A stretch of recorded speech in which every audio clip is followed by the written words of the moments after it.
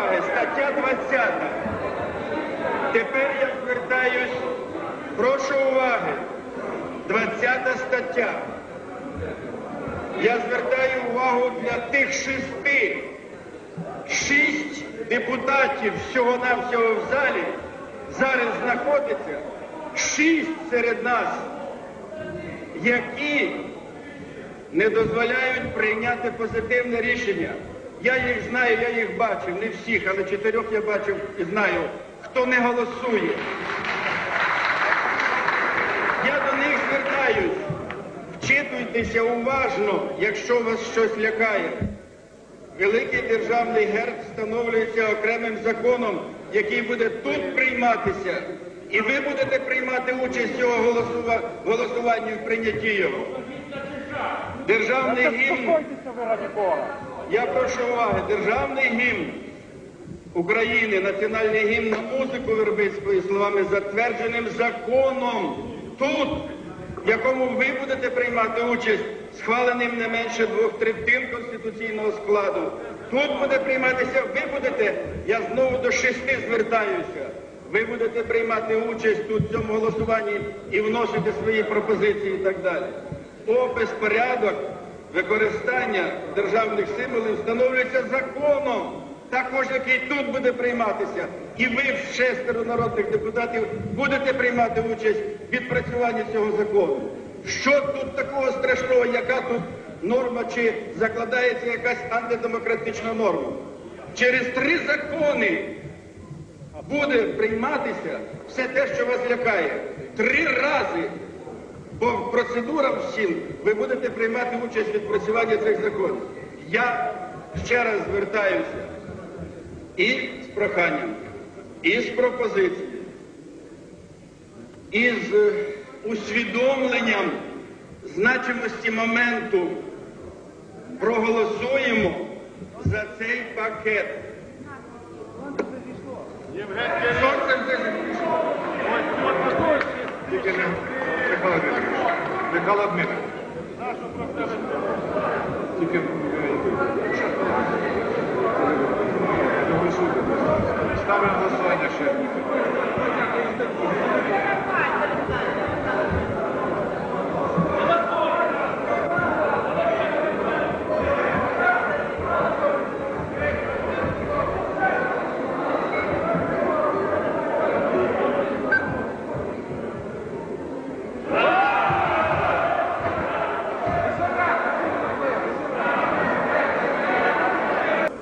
День до візиту прем'єра Угорщини Хорна до України відбувалися засідання парламенту, де він очолює фракцію. І прибувши до нас, він був трохи стомлений.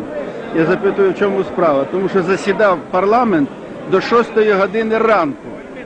Поки не прийняли пакет законів економічного характеру, якому був зацікавлений уряд, парламент засідав до 6 години з чимось там хвилин ранку. Так що ми тут не то, то Євгене Кирилович, так ми сьогодні закладаємо добру традицію. Взялися на початку. практику, європейську практику закладаємо, поки не приймається повний пакет, а в даному разі Конституція вище всього. Значить, тоді працює стільки, скільки треба. Євгене Кириловичу, гадаєте, десь на третю-четверту годину ранку ми вийдемо до фінішу? Я думаю, на четверту годину ми завершимо. Країна визнана всім світовим співтовариством. За цей час керівники України різних рівнів побували більше ніж в 100 країнах світу. Більше ста керівників країн інших світу делегації відвідали Україну. Україна є членом багатьох міжнародних організацій.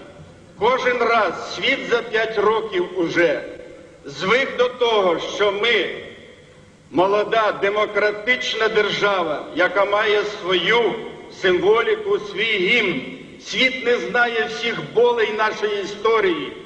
І герб, якому тисяча років, який зародився в державі князя Володимира, він не винуватий з того, що він пройшов через кроваві конфлікти громадянські в нашій історії.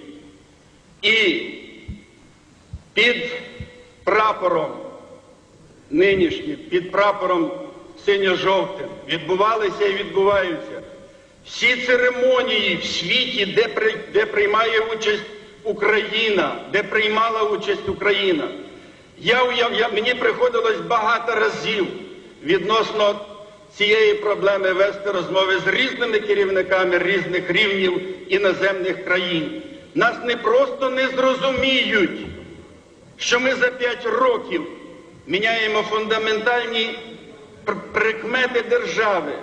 На нас будуть дивитися, не хочу називати всі слова, на, як на кого будуть дивитися, коли через п'ять років ми не змогли, представники всього українського народу в парламенті, коли на терезах стоїть Конституція і на державі, і стоїть символіка, тим більше, що пропонується перший варіант компромісний, пролонгований з віднесенням вирішення фундаментального питання на, на продовжений час.